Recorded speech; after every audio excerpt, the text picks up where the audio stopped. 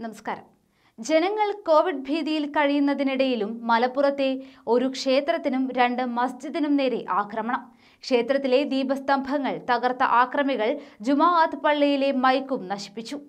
പിന്നിൽ മോഷണ ശ്രമമല്ല എന്നാണ് വിശദീകരണം. പ്രതികളെ തേടിയിറങ്ങിയിരിക്കുകയാണ് പോലീസ്. മലപ്പുറം തലക്കെടുത്തൂർ അരീക്കാട് ഒരു ക്ഷേത്രത്തിനും രണ്ട് മസ്ജിദിനും നേരെയാണ് ആക്രമണമുണ്ടായത്. പരാതിയുടെ അടിസ്ഥാനത്തിൽ പോലീസ് കേസെടുത്ത് അന്വേഷണം ഊർജിതമാക്കി. തലക്കടുത്തൂർ വിഷ്ണു ക്ഷേത്രത്തിലെ ദീപസ്തംഭങ്ങൾ തകർത്ത ആക്രമികൾ അരീക്കാട് വലിയ ജുമാഅത്ത് പള്ളിയിലെ mica നശിപ്പിക്കുകയായിരുന്നു.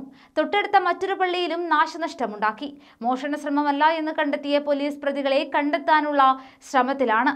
V Abdurahiman M L A ആരാധനാലയങ്ങൾ സന്ദർശിച്ചു. ഇത്തരം പ്രവണതകൾക്കെതിരെ ശക്തമായ നടപടികൾ തന്നെ ഉണ്ടാകുമെന്നാണ് ഇദ്ദേഹം പറഞ്ഞു വെച്ചത്. അതേസമയം കോവിഡ് വ്യാപനവുമായി ബന്ധപ്പെട്ട് സർക്കാർ നിർദ്ദേശങ്ങൾക്ക് വിരുദ്ധമായി പ്രവർത്തിച്ച ഏഴുപേരെ മലപ്പുറം കൊളത്തൂർ പോലീസ് അറസ്റ്റ് ചെയ്യുകയായിരുന്നു. ലോക്ഡൌൺ നിർദ്ദേശങ്ങൾ കർശനമായി വീണ്ടും നടപ്പിലാക്കുവാൻ തീരുമാനിച്ചതിന്റെ ഭാഗമായാണ് കൂടുതൽ അറസ്റ്റ് നടന്നത്. സംസ്ഥാനത്ത് ജനങ്ങളും വാഹനങ്ങളും കൂടുതലായി നിരത്തിൽ പ്രത്യക്ഷപ്പെട്ടു തുടങ്ങിയതായി റിപ്പോർട്ട് ചെയ്തതിന്റെ അടിസ്ഥാനത്തിൽ സർക്കാർ ഇക്കാര്യത്തിൽ കർശനമായ നടപടി സ്വീകരിക്കുവാൻ താഴെത്തട്ടിലേക്ക് നിർദ്ദേശം കൊടുത്തിരുന്നു. രാവിലെ മുതൽ ഉച്ചവരെ നടന്ന വാഹന പരിശോധനയിലാണ് അനാവശ്യമായി കറങ്ങി നടന്നവരെ പോലീസ് അറസ്റ്റ് ചെയ്തത്.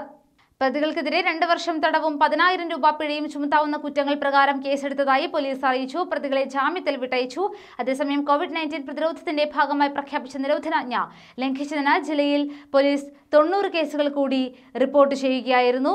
വിവിധ സ്റ്റേഷനുകളിലായി നൂറ്റി ആറ് പേരെ ഇന്നലെ അറസ്റ്റ് ചെയ്തതായി ജില്ലാ പോലീസ് മേധാവി യു അബ്ദുൽ കരീം അറിയിച്ചു. നിർദ്ദേശങ്ങൾ ലംഘിച്ച നിരത്തിലിറക്കിയ പത്ത് വാഹനങ്ങളും പിടിച്ചെടുക്കുകയും ചെയ്തിട്ടുണ്ട്. ഇതോടെ നിരോധനാജ്ഞ ലംഘിച്ചതിന് പോലീസ് രജിസ്റ്റർ ചെയ്ത കേസുകളുടെ എണ്ണം നാനൂറ്റി അറുപത്തിരണ്ടായി ഉയർന്നു. അറുന്നൂറ്റി ഇരുപത്തിനാല് പേരെയാണ് ഇതുവരെ അറസ്റ്റ് ചെയ്തത്. ജില്ലയിലാകെ ഇതുവരെ എൺപത്തിയേഴ് വാഹനങ്ങളും പിടിച്ചെടുത്തിട്ടുണ്ട്.